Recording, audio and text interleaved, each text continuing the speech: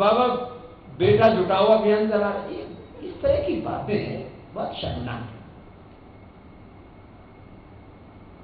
आप सब पत्रकार भाइयों को हमने ये पूरा हर भाषा में इस औषधि का क्या नाम है सब उपलब्ध कराया है।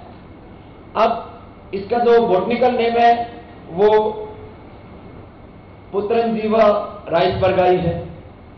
इसका हिंदी नाम भी पुत्र जीवक है, पुत्र जीवा है। इसका गुजराती नाम भी पुत्र जीवक है, कन्नड़ नाम भी पुत्र जीवा है, और तेलुगु नाम भी सारे नाम, मराठी नाम भी पुत्र जीवा है, अब नेपाली नाम भी पुत्र जीवा, बंगाली नाम भी पुत्र जीवा, अब हम क्या करें भाई? अब इसका नाम ही पुत्र जीवक है।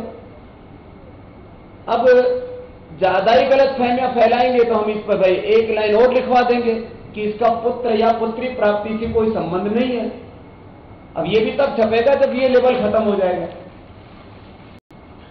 माने ऐसी भ्रांत बातें पिछले करीब दो महीने से लगातार फैलाया जा रहा था।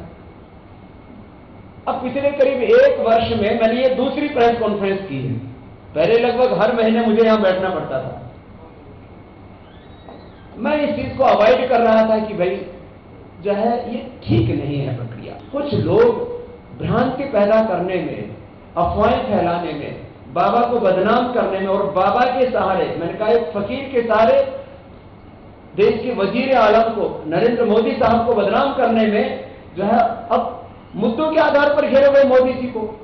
आप ये बेटा बेटी का मुद्दा उठा करके और नरेंद्र मोदी को बदनाम करने की क्यों कोशिश करते हो? तो आ, मैं बहुत विनम्रता के साथ इस बात को कहना चाहता हूँ। कि अब तो ये एक पुत्र दीवक की बात आई कल को मैंने कहा ये गोदंती भस्म की भी बात करेंगे। अब ये गोदंती भस्म है। अब ये सफ़ेद पाउडर होता है, एक स्टोन होता है, मैं अभी शायद थोड़ी देर में आ भी जाएगा तो जाने से पहले आपको दिखा भी दूँगा।